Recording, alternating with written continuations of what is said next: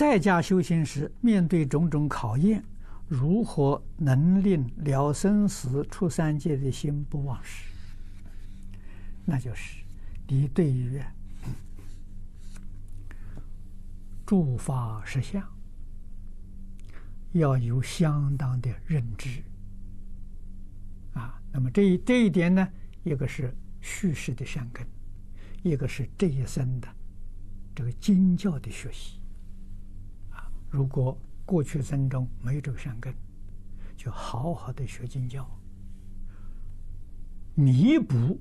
我们的善根，啊，也能够说增长我们的善根，啊，我们真的明白了，啊，知道啊，人一生，啊，是在讲时间很短暂，啊，造恶业是错误，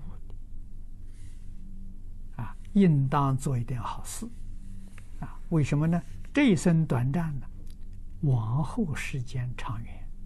啊要为长远呢来打算，啊，不要斤斤计较着眼前这短短的数十寒暑，啊，这个就错了，啊，所以能够看了解这些事实真相啊，我们了生死的心呢，就非常恳切了。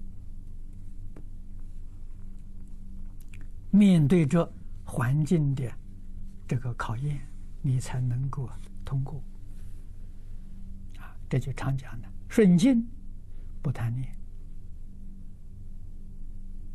啊，逆境不生嗔恚，保持一个平常心，啊，保持一个清净的头脑，知道凡所有相，皆是虚妄。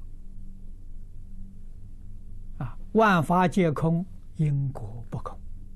常常想着佛这个教诲，我们的心就能恢复到平静。